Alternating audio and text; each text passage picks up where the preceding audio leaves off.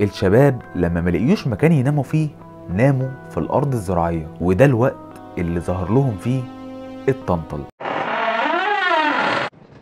فل عليكم يا ملوك الليل. خلونا ما نطولش.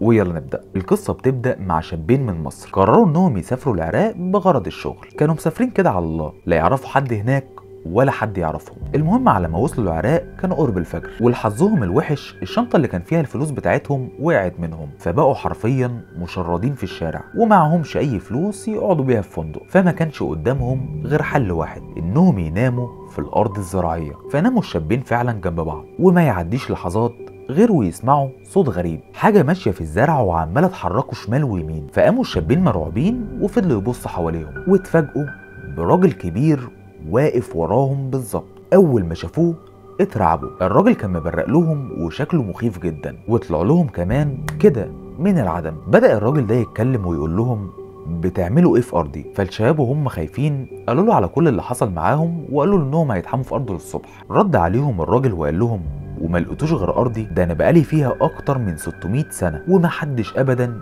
يقدر يخشها بالليل غيري. بصوا له الشباب كده شوية وفضلوا يضحكوا وقالوا عليه أكيد الراجل ده مجنون. 600 سنة إيه اللي هيعيشهم في الأرض؟ وفي اللحظة اللي كانوا بيضحكوا فيها عليه دي بيبصوا عليه ما لقوهوش ولقوا مكانه كلب أسود شكله مرعب. وبدأ الكلب ده يتكلم ويقول لهم صدقتوا إن أنا فيها من زمان قوي؟ الشباب أول ما شافوه كده بدأوا يجروا وهو بيجري وراهم بأقصى سرعة. وفضل يجري وراهم لحد ما طلعهم من الأرض. أول ما طلعوا الكلب ده وقف ورجع لشكل الراجل تاني وقال لهم المرة دي بس تحذير. إنما لو شفتكم هنا تاني ما تلوموش إلا نفسكم. ودخل الأرض الزراعية واختفى.